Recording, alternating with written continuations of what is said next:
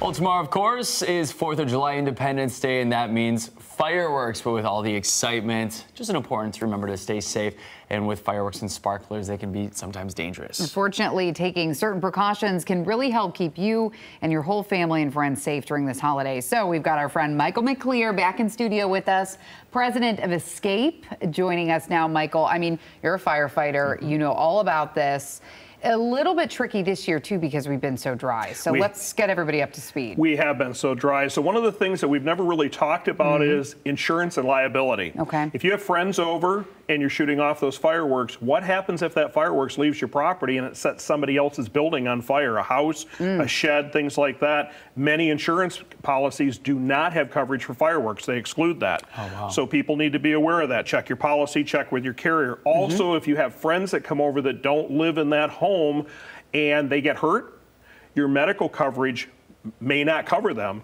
If you don't have fireworks coverage. So it's been so dry, we just want to make sure everybody plays it safe. The best plan, leave it to the professionals. Go and see those professional shows yes. as you've been teasing out all morning long. Mm -hmm. yeah, and we have so many in West Michigan too, Absolutely. so you know, let them do, and it, it's going to be a better show anyway. It is. you know, the Certainly. bigger fires got more resources, but you did bring, um, you know, some of the more um, available fireworks that people can, you know, do in their own yard and whatnot. So what are some tips so if people are going to buy some of their own and they want to light up uh, sparklers or whatnot? You bet. So one of the most common ones are sparklers. A lot of people don't realize sparklers are actually going to burn over 1200 degrees in just a matter of seconds, third degree burn, full thickness burn. If for some reason someone is burned, make sure that you cool that burned area with cool running water. If it's a severe second degree or third degree burn, make sure you get prompt medical attention. That's very, very important. And make sure that we have a bucket of water. Put these sticks in that bucket of water. Children are running around. They're looking at having fun. They're not thinking safety. Mm. And if they step on these hot sticks, that can uh. cause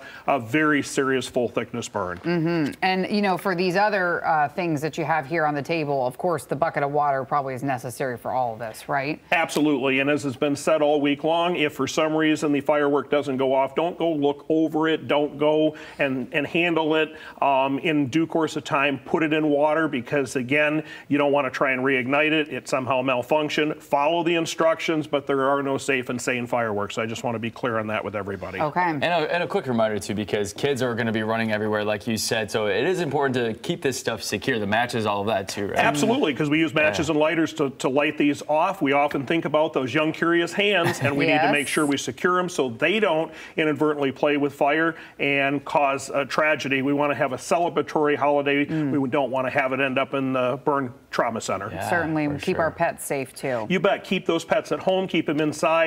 Let them do their business before fireworks and then turn some soft music on, yeah. or they can watch Fox 17. Yes, certainly they could. Barkley, you heard, Mr. Michael. Thank you. Thank you. Appreciate it. Very, very uh, important right now. That's right.